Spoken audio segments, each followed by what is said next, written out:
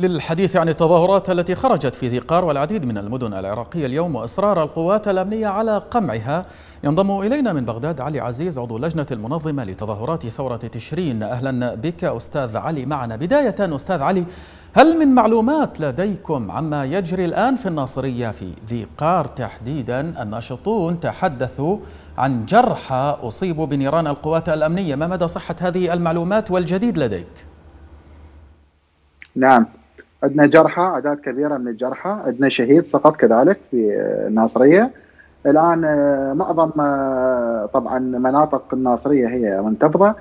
ذروة الانتفاضة هي في ساحة الحبوبي وسط الناصرية. أبناء الناصرية لا يمكن أن يسكتون على أي ضيم أو ظلم وإحنا يمكن نشاهد الثورة رجعت يعني نارها توهجت بعد عمليات الاعتقال اللي طالت العديد من الناشطين. بالإضافة إلى الاعتقال عمليات تفجير المنازل للناشطين وعمليات الخطف لا تزال موجودة فلذلك الشارع رجع انتفض نعم. وهذه المرة راح تكون العودة عودة أقوى من سابقاتها بحكم التجربة اللي اكتسبوها الثوار سواء في الناصرية أو باقي مدن العراق طيب ما المبرر لهذا العنف بحسب اعتقادكم؟ طبعا هو العنف آه، يمارس ضد الثوار وضد الناشطين وضد المتظاهرين بشكل عام من القوات الحكومية بشتى مسمياتها. آه، بالإضافة إلى القوات الحكومية إحنا نعلم الميليشيات وما تمارس ضد الشعب العراقي بشكل عام يعني منذ 2003 ولحد الآن. العنف يمارس لوئد أي روح وطنية داخل نفس أي مواطن عراقي وبالتالي أكيد يعني هذا الشيء اللي وصلنا له إحنا في ثورة تشرين بالتالي نعم. وئد ثورة تشرين. وهذا الشيء ما ممكن أن يتم طبعا لأن الروح الوطنية لا يمكن أن تقتل بالسلاح. نعم.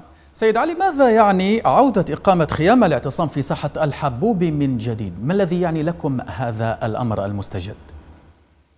نعم هذا يعني أنه الآن الشعب الذيقاري الأشم البطل عاد إلى وسط مدينته مدينة الناصرية وسط الناصرية بساحة الحبوبي وعاد نصب خيامة اللي هي أساسا مشروع تحدي. ضد كل قوى السلطة الحاكمة سواء السلطة المحلية أو المركزية في بغداد. هذا نعم. مشروع تحدي إنه إحنا يا يا يا حكومات يا نظام سياسي إنه إحنا ضدكم إلى آخر نقطة دم وإلى آخر نفس من أنفاسنا. إحنا ضد نعم. العملية السياسية وهذا مشروع التحدي هذا ونصب الخيام والاعتصام هذا مؤقت هذا ممهد لثورة كبرى راح تكون يعني آه، راح تكون متلافية لكل الأخطاء والمطبات اللي وقعنا بها على مدى آه، سنة وكم شهر راح يصير لنا نعم. من ثورة تشرين. الكاظمي قال مرارا إن حكومته عينها الشعب، في المقابل نجد المشهد يسفر عن قمع واستمرار للاعتقالات وإطلاق الرصاص الحي ضد المتظاهرين، ما الذي يمكن فهمه عند المقارنة ما بين هاتين الصورتين؟ لا ابدا. هذا الكلام غير صحيح. هذا كلام هذا تزوير للحقيقة.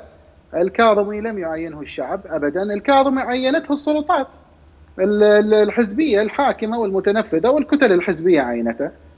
مصطفى الكاظمي هو كان رئيس جهاز مخابرات وعضو باللجنة الأمنية بقيادة عادل عبد المهدي في حينها وهو شريك بقتل المتظاهرين سواء لما كان مدير نعم. جهاز مخابرات ولحد الآن. هذا الكلام غير صحيح ابدا. نعم. هذا مغالط ومغاير للحقيقة.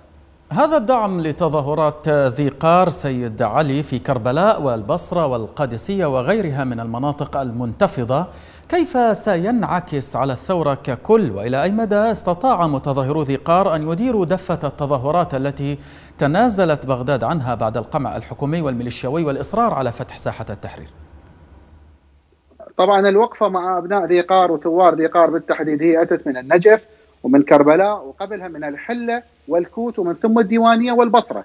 بالإضافة إلى بغداد، بغداد لم تتنازل آه، عن أي شيء يعني لم تتنازل عن الثورة ولا عن المظاهرات، بغداد ثوارها قمعوا نعم. وقتلوا. وبغداد أكبر مدينة قدمت شهداء، أكثر مدينة عفوا قدمت شهداء وقدمت مخطوفين وجرحى ومعاقين، بغداد يعني نالت الجزء الأكبر من قمع نعم. السلطات لثوارها، بغداد اليوم كذلك اليوم كانت فيها محاولة لإعادة التجمهر والتظاهر نعم. في ساحة الطيران لكن السلطات الحكومية قمعت الشباب اليوم نعم. واعتقلتهم دعنا نبقى في بغداد سيد محمد يعني ماذا يعني سيد علي إغلاق المتظاهرين طريق محمد القاسم تضامنا مع متظاهري الناصرية هل هي خطوة رمزية أم يمكن أن تتطور بحسب توقعاتكم؟